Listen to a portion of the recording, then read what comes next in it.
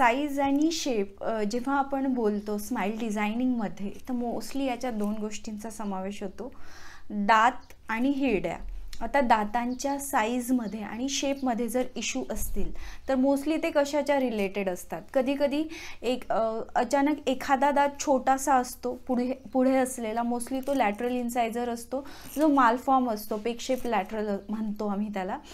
तर अशा वेळेला ते स्माईल करताना बाकीचे दात वेगळे दिसतात आणि हा दात एकदम ऑड दिसतो.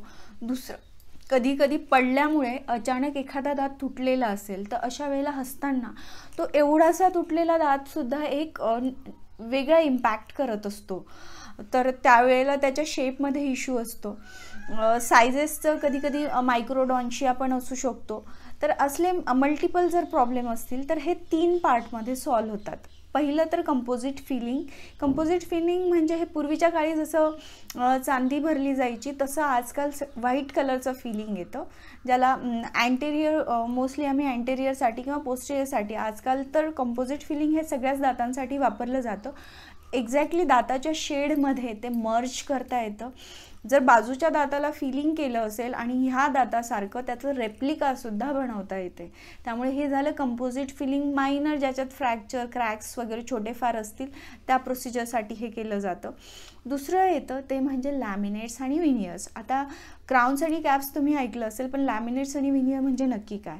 जसं क्राऊन देतो आम्ही डेंटल क्राऊन तर त्यावेळेला दाताचा पूर्ण लेअर आम्ही कट करत असतो वरचा थोड्या प्रमाणात आणि त्याच्यावरती एक कॅप फिक्स केली जाते. तर हे एक्झॅक्टली तसंच असतं फक्त दाताचा पुढचा सरफेस असतो आणि मागून त्याला विंग्स असतात. त्यामुळे ह्या प्रोसिजरमध्ये लॅमिनेट्स आणि विनियरच्या प्रोसिजरमध्ये कटिंग दाताचं खूप कमी होत असतं. त्यामुळे ज्यांना फ्लुरोसिसचे इश्यू आहे किंवा मायनर डिस्कलरेशन आहे प्रा पॅची अपेरन्स आहे त्यांच्या केसेसमध्ये मोस्टली आम्ही लॅमिनेट्स आणि विनियर्स देत असतो. आणि आता लास्ट येतं ते म्हणजे डेंटल क्राउन्स डेंटल क्राउन्स म्हणजे एखादा दात डिस्कलर असेल ट्रॉमा झाल्यामुळे किंवा काही वेगळ्या याच्यामुळे तर त्या दाताला मायनर कटिंग करून वरच्या सरफेसला अँटेरियरला मोस्टली आम्ही झिरकोनिया क्राउन्स वापरतो जो फुल्ली व्हाईट असतो. आणि त्यातनं सुद्धा प्रा पास होऊ शकता म्हणजे प्रॉपरली त्याला ट्रान्सल्युसन्सी म्हणतात. ही खूप छान असते त्या क्राउन्सची ते क्राउन्स बसवल्यावर लिटरली बाजूच्या दातावर काही प्रोसिजर झालेली हे कळून येत नाही. तर साईज आणि शेपचे दातांचे इश्यू असतील तर ते हे फिलिंगच्या साह्याने लॅमिनेट्स आणि विनियर्सच्या साह्याने आणि क्राउन्सच्या साह्याने सहज सॉल्व करता येतात.